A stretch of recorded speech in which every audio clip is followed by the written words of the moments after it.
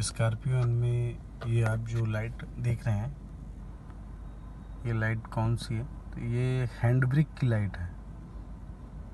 उसके ऊपर है बैटरी की।